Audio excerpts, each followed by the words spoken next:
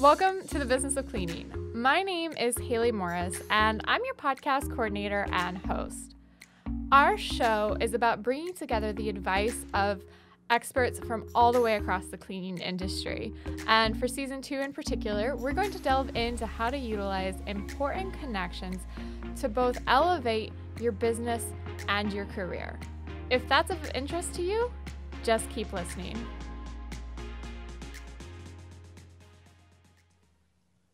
Hello, everyone, and welcome back to the business of cleaning. My name is Haley Morris. As you've probably heard a million times, I'm your podcast coordinator and host. And today's episode, we are going to talk about the perk of virtual groups and virtual networking and some specific groups in particular. We're going to talk about Facebook groups and why they're beneficial, why you should get involved, and how you actually maximize your involvement in there. And for that, I've brought on my boss, Sam Riegsecker, and he's going to go ahead and introduce himself. Yeah, as Haley said, um, I'm Sam Riegsecker. Uh, I am the manager of marketing operations at AA here, um, or janitorial manager, depending on who we're talking to. Uh, and you know, my job here is to kind of coordinate all of the marketing efforts, whether that be Facebook groups or um, you know, sending out social messages or email blasts or website development, that kind of stuff. So uh, I'm kind of a universal hybrid character and, um, uh, you know, just directing the team in which way to go. So that's my role. So if you have questions in regards to our marketing efforts whatsoever, Sam is the place to start. I know the podcasting and the podcasting. Yeah, right, right. And and the podcast even, you know, the idea started a little over two years ago. And so it's been kind of fun to see Haley come aboard and kind of own it and take off from there. So um, you know, it's exciting to watch and manage and, you know, see the back end stuff happen um, and, you know, add this to our uh, portfolio, I guess you could say, of marketing efforts to give our industry more content. So um, it's it's good to see this podcast continue to grow. I like it too because we've I think we've heard of people talk about businesses and things that have started or new hobbies people picked up during COVID, and uh, the podcast is truly a COVID baby. It planning began in May-ish, May, June, and mm-hmm. we launched in September. And so we are into our second season and we are rolling along quite nicely. So I hope everybody has got a chance to see some of the guests we've already had on. And if you're interested, you could always join us for an episode as well. With that being said, what we're doing with the podcast is we're really helping you expand your knowledge and your network. And podcasting isn't the only way that you can do that. You can do that through other free resources because we like that term free. And by free, we truly mean free. Facebook is accessible to all. And I don't know a group that you have to pay to to join. Almost all of them that I've ever heard of are completely free. And then they'll offer additional things on top. Some groups get more exclusive and move off the platform. But for podcasting, for janitorial, um, for networking, just in general, business insider information, there's all kinds of groups. JM itself runs a community, and there's a plethora of them that Sam is involved in as well. So that's what we're going to jump into and talk about today. Yeah. So, the another another industry is the insurance space. Um, at AA, we have insurance products that tailor more towards the insurance industry. So yeah, as far as you know, industry groups, hobby groups too, local groups. Um, so we're going to kind of touch on that stuff here as we go along during this, but you know, it's definitely an area where businesses can grow and um, uh, and continue to expand upon uh, and you know and, and i think it's some low-hanging fruit too for a lot of businesses especially in the JanSan world. I like it too because i didn't realize how many garage sale groups and liquidator groups are out there and uh, when you're balling on a budget, they're very, very nice to have around.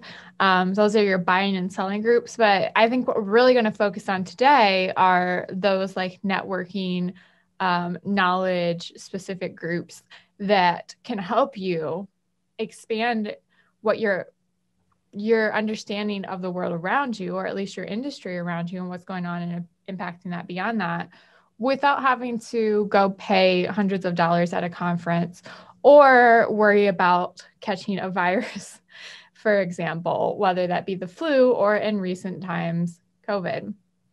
And naturally, there are a lot less events available. So information is more precious than it has been. And so, with that being said, I guess, Sam, what is your advice when somebody is maybe new to the Facebook scene or new to really just this idea of joining a group on Facebook? Because I didn't start joining groups until probably like six months ago or so. What do you, what advice when they're looking to find a group? How do they be more specific about it than just typing in a couple keywords? Yeah. So over i would say over the last probably year it's been pushed as a functionality on facebook um, more so even than facebook pages. Um, you know as a business owner obviously you're going to want to have a facebook page. You're going to want to have all of that marketing around the business itself. Um, and then you know my first thing as a business owner is i would try to get in some, into some facebook groups that are more industry driven. So you know this space there's a couple different industry groups. If you search anything like janitorial business mastermind i think is one of them um, you know jm community uh, janitorial manager community is one. Um, there's a bunch of different jm in, janitorial industry groups that i would first kind of search for. And, and you can search janitorial um, you can probably just search janitorial and then go up to and click the thing uh, the filter option that says group and they're all going to be there.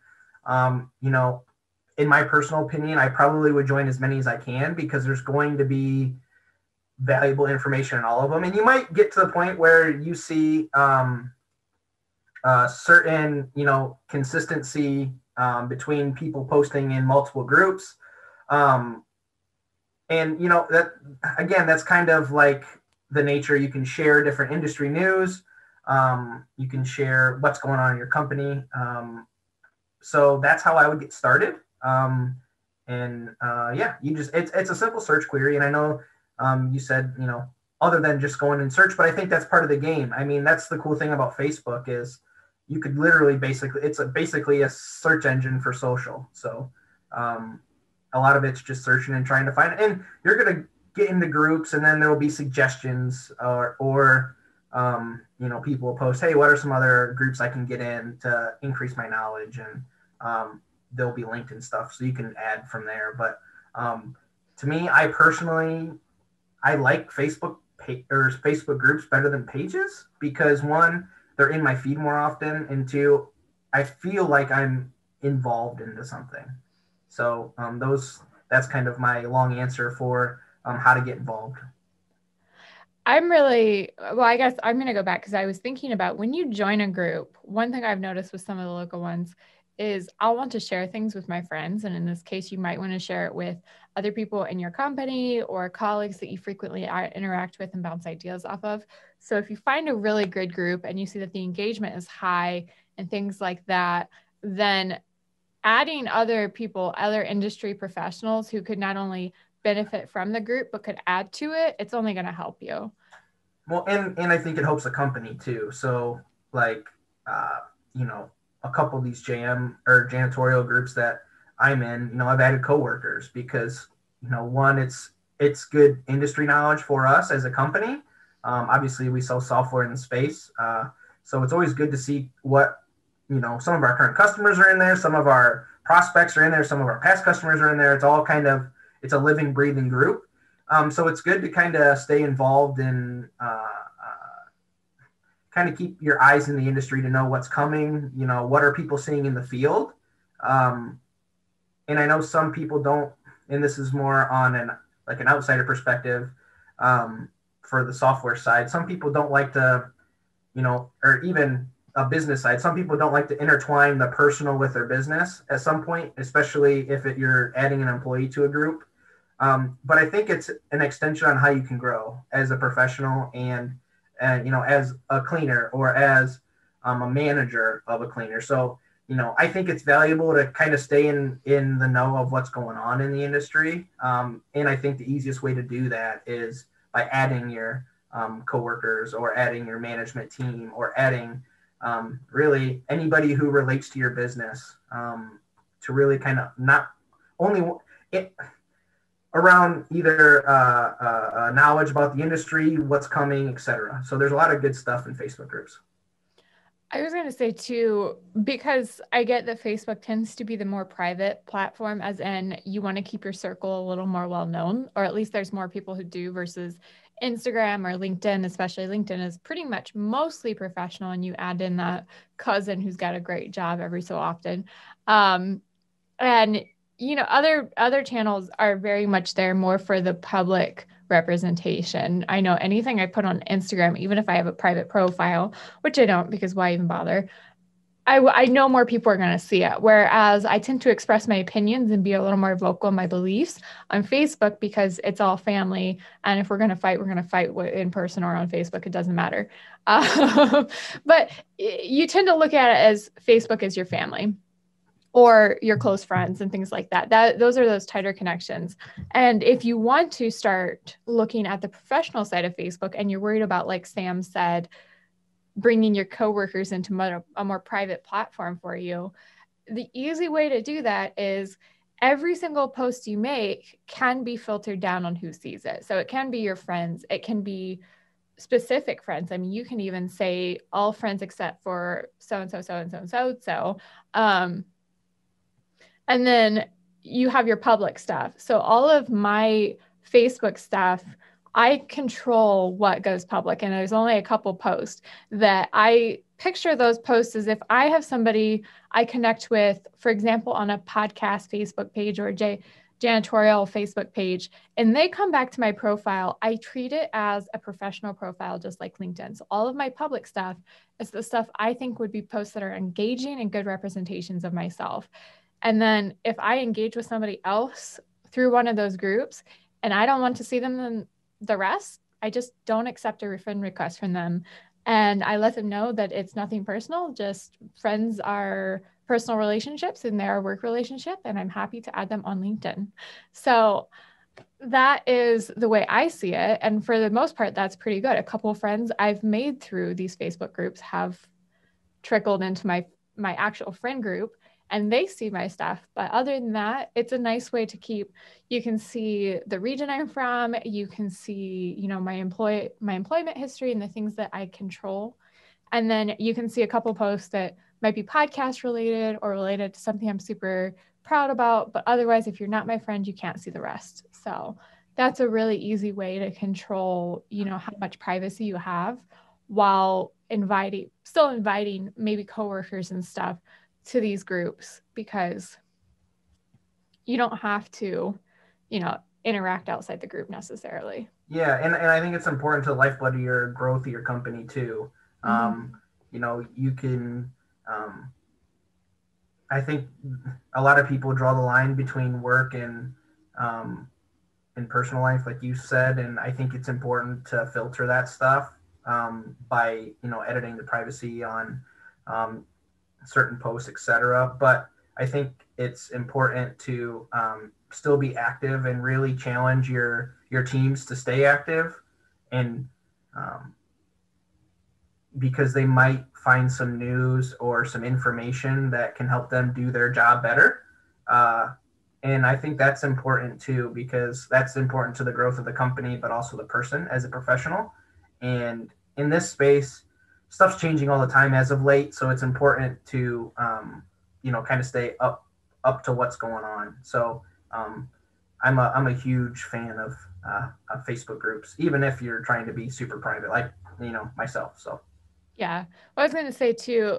I was I had a Facebook like when I was really little, and then I got rid of it at some point, or I have no idea actually what happened to that Facebook if I deleted it or what.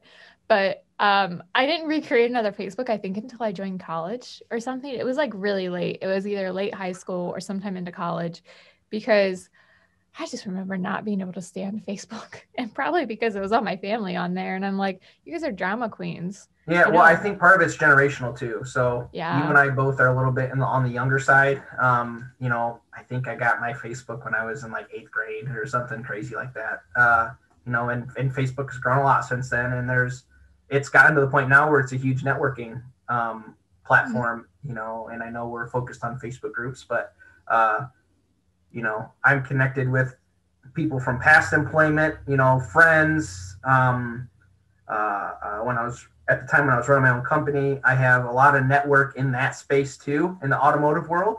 Um, so, you know, I know of good friends I could message from Hawaii, which I wouldn't have without Facebook.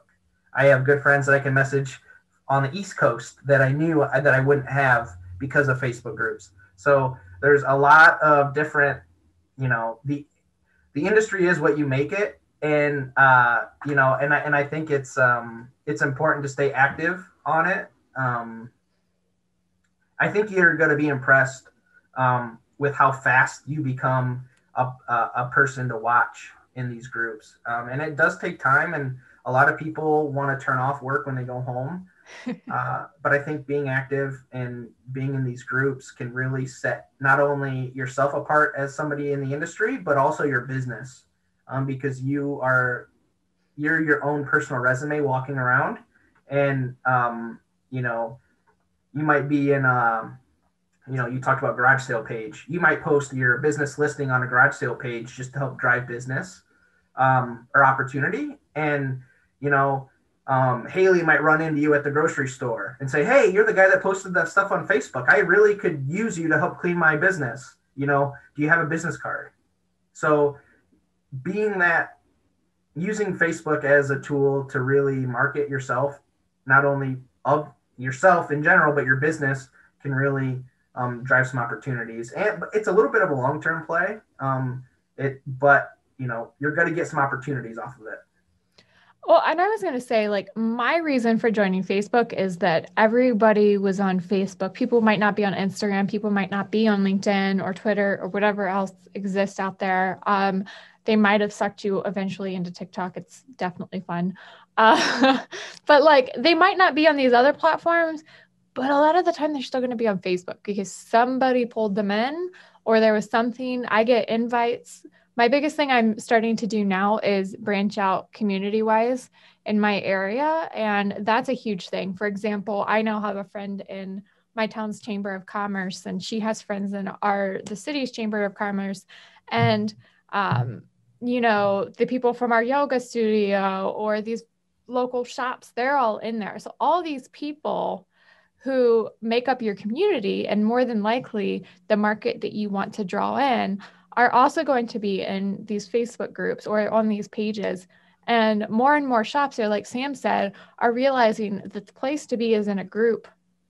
And they're starting to create exclusive groups for people who visit their shop. So there's a small local shop here. And one of my friends sent me an invite to join. And I was like, I've never even been there, but I saw their thing. I joined. It's a super fun community. People like to share the unique things they have or fun advice. And what's cool is I know there are people in our area. So I might see somebody who works at a company that interests me or does something that interests me and I just want to network and find out more about it. Now we have something in common. And if you're a janitorial company, for example, you might meet somebody and become friends with them over a coffee or something. And next thing you know, they're asking you for your business because people will do business with the people they're friends with and familiar with before they will do business with somebody else. So your prices might be a little higher than somebody else's. They'll go with you just because they met you in that Facebook group and they think you're a pretty cool person. So, well, and, and, and that's kind of the idea behind us starting our own Facebook group because we saw an opportunity. There is probably a half dozen or so Facebook groups in the JanSan world, and we felt like we have enough knowledge to say, hey, let's get a group together. Let's put some content in there to spark interest. Let's have a place where people can ask questions. Let's, you know, it's open. I mean, it's basically, you know, there's a bunch of people. It's not just exclusive to JM people. Um, you know, it's open to the industry. So, you know, how can we provide the industry knowledge? Um, what are we seeing? Um, you know, et cetera, et cetera. And I saw that need, and the Facebook groups are continuing to grow. Um, you know, they're I'd say in the last four months, they've really made a push on Facebook groups as far as plugging them. Um, we've seen some massive growth in our Facebook page or Facebook group in general. Um, and they're, you know, people are being more and more active. Uh, so I'm, you know, that's as of late, that's not even like, um, as of late, like in the last couple months here, they really, really are pushing people towards groups. So take advantage of that. Uh, you never know, like Haley said, you never know who you're going to run into for one, or it could be, you know, a business that you've never heard of that wants somebody to or needs your services for something. You know, that might be even disinfecting. You know, who who knows? But if you're not currently taking advantage of it, then either you're going to be left behind, or um, you know, you you you could not see as big a growth out of it. So.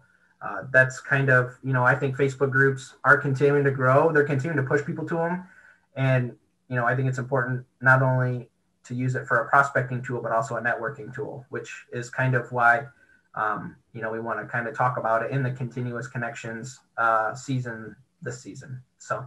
Because if you want to continue to connect people in a world that's virtual, you have to find a virtual method. Exactly. Um, and even before COVID, more and more of the world is shifting to virtual networking as a huge form of meeting people, just because we're starting to see our reach go a lot further than our local regions. And while those are hugely important, like I love my local network, our neighbors are opening up a bar downtown. And I think that's super cool. Bar bar food joint that's going to be upscale and I'm going to be there.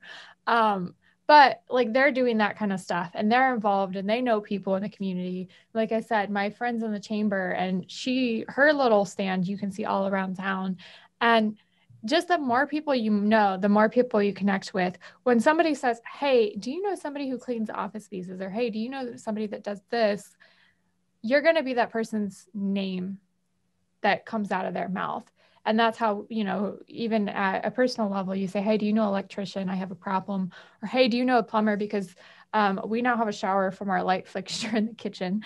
Um, and so that's that's how people get their initial connections and they do the same for their businesses and now a lot of those connections are starting or being cultivated on facebook groups especially like the local ones which is huge and then also in addition to that a lot of us join industry groups or these other things in person to cultivate our leaders and our understanding our knowledge. It does the same thing but like i said for free. Now you're starting to see more facebook group have in-person events or virtual events like coffee talks or panels for sharing information and things like that. So we're i'm personally involved with uh, some facebook groups who do even live training like business training on news and information and if you're looking to build your managers as an owner um, or even supervisors, I think you know spending time, and that's where you're not only adding people but sharing that resource. So that will that might be, you know, they might do like a live, a Facebook live in a group, um, and then send or have a link to the recording. It might be you taking the time to get that recording and send it to your people. Uh, so there's a lot of um, there's a lot of opportunity, and I think and and I think if you're not currently taking advantage of it, I think that you're you're basically leaving your team hanging to dry. And I know you talked about the power of referrals. Um, I'm guilty of this. I'll see uh, I'll see something in a Facebook page, I'll like it, and somebody will say, "Hey, do you know somebody who does this?" I've I've actually done this. I've went back through my activity feed in Facebook and scrolled and scrolled and scrolled. I maybe spent 15, 20 minutes on it. And then I sent the person a link to that Facebook group with that person who quote or who said that. So I think it's important that um, you know you properly utilize these uh, these Facebook groups because I think that there's a lot of room for growth, especially as you continue to build your network. Um, and it's not going to happen overnight. Um, I know back when I was running my own company, I got involved in a lot of the industry groups, and it took a lot of engagement hours and hours and hours of replying even if it's like you know great job or uh, you know that's a great idea you know. How do you asking questions intriguing questions and it's not new posts it's just engaging with other people in the industry.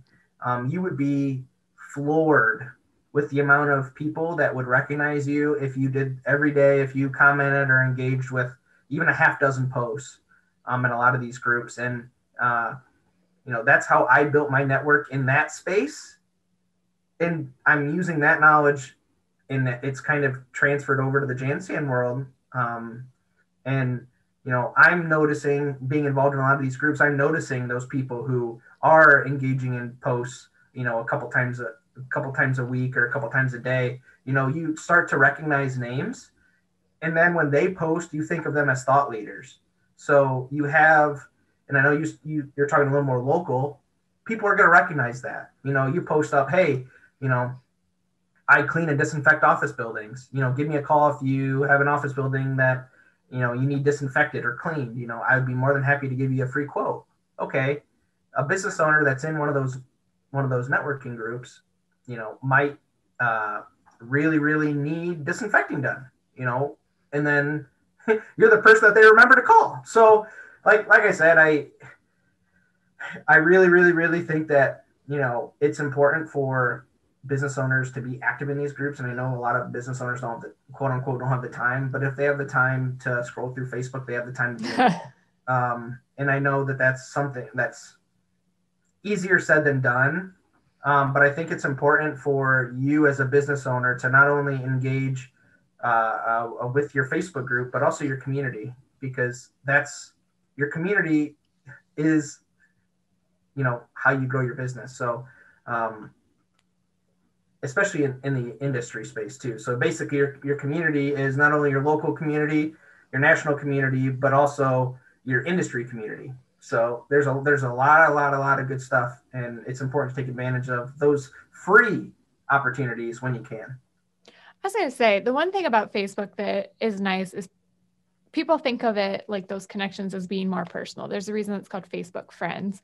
I'm friends with them on Facebook instead of talking about, oh, we follow each other like you would on Instagram. And so when you do develop a relationship, even if it's just a loose connection, it tends to come off as a little more personal, or people tend to think of it more personal.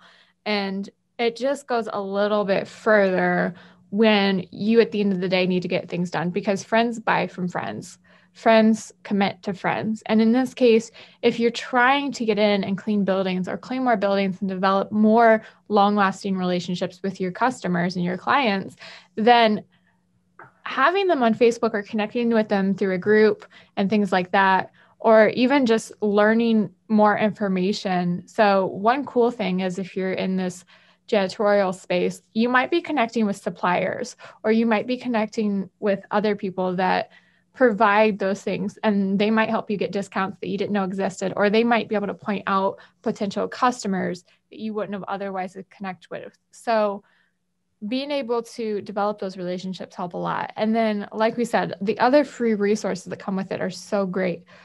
Um, one of the things I noticed a while ago, or one of the things that somebody brought up to me a while ago for the other podcast that I run, is that they're part she's part of the photography the wedding photography space. So in the wedding industry space in particular they suffered hugely last year because even if people were getting married it wasn't a wedding like we thought like you really didn't have vendors you didn't have catered food you didn't have live music you didn't have locations you didn't have any of that stuff even if you could manage to get married which a lot of people were forced to postpone to this year or next year and one thing that that meant is there was a huge domino impact of who was affected.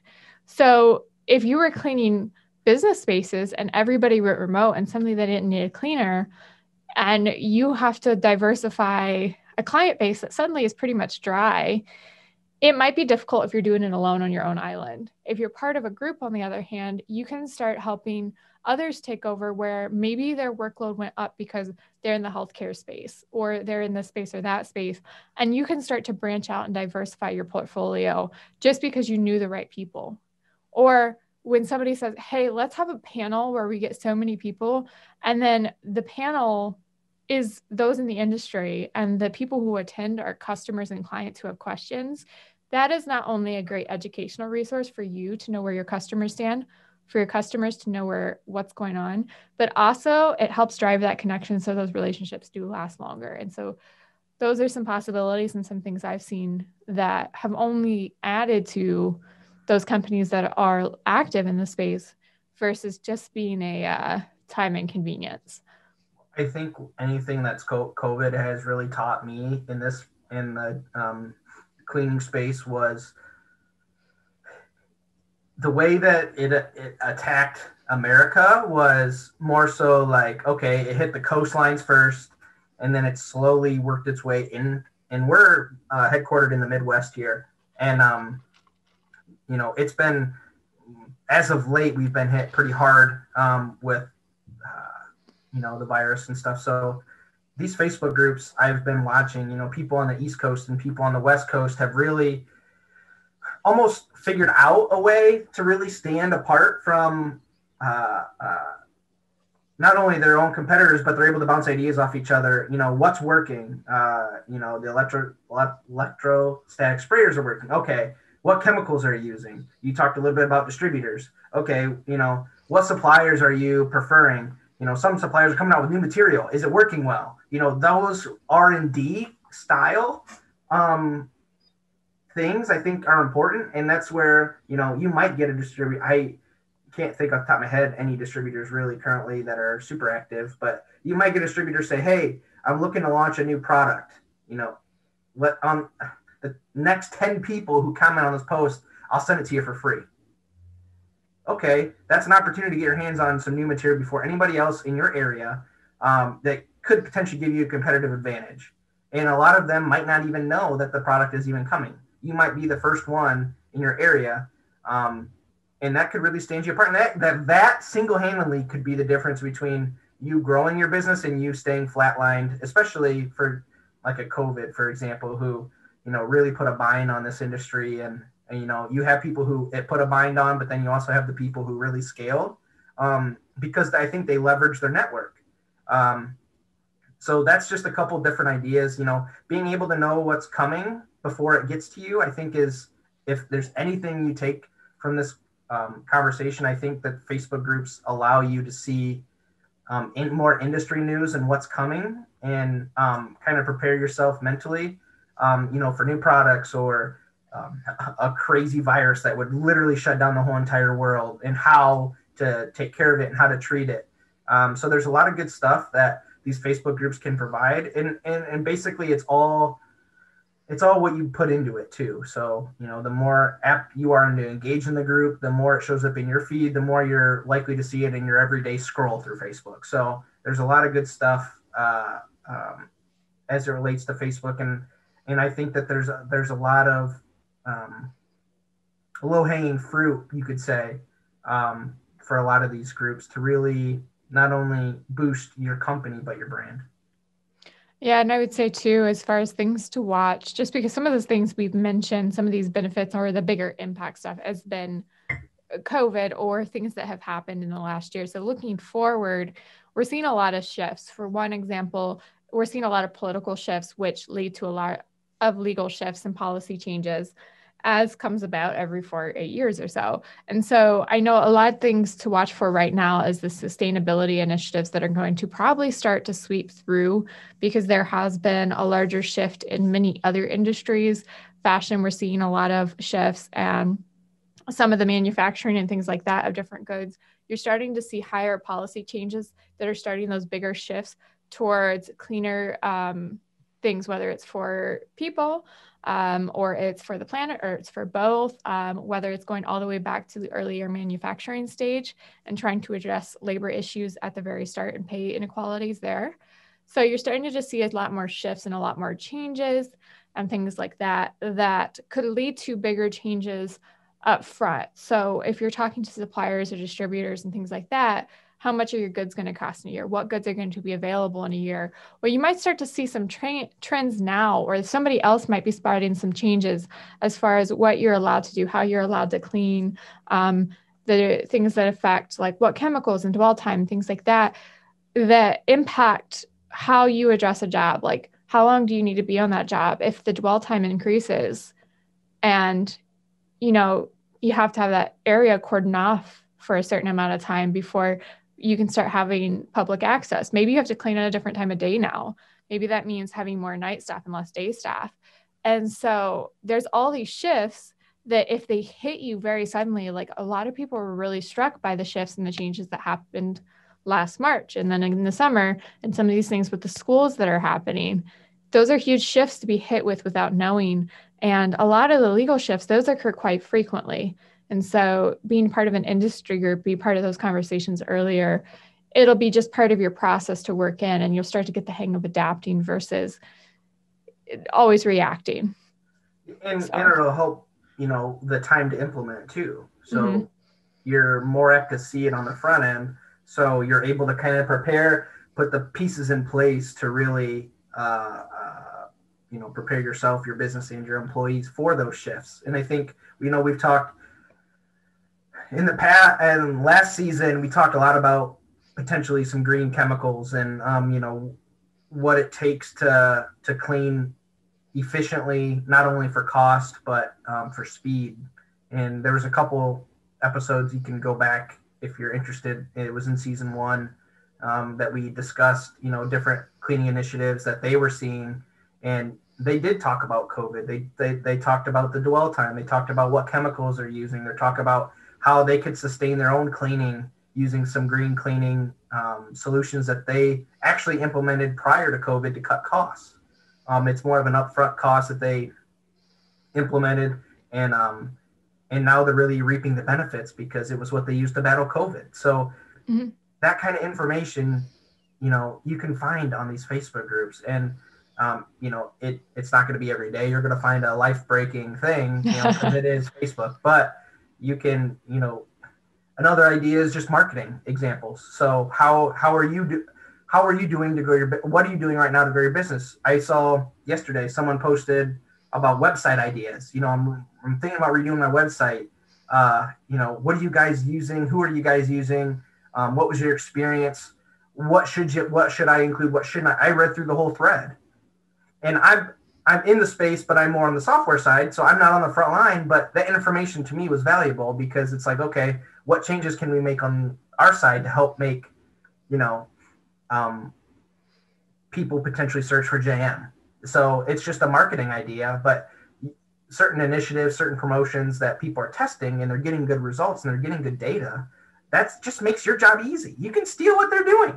So take advantage of that. Um, it's basically free r&d for yourself and your business. So uh, yeah like i it's it's so important. It's almost a necessity at this point for the space to really take the time um, because this space is growing in the technology space and you and i both know that and i know the audience knows that too. Um, technology is really continuing to grow and it's it's so important to use your network to answer questions, ask questions, um, share your information with.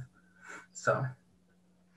All right. Well, I think we have given people a lot of food for thought. We've stuck with talking about Facebook in particular because it is a huge platform, especially right now in the industry. And so this is, I think, where we're going to leave our audience. I want to tell you, Sam, thank you for joining us and being part of the show. Normally, you're in the background, um, helping me do all the cleanup work before we send these episodes out. But it's great to have you on, and it's great to have everybody tune in again. Once again, blog post will have all of your things, say the audio, YouTube video, any links or things we wish to include. We'll include our Facebook group there as well. So if you would like to join the janitorial manager community, you may and we will see you next week.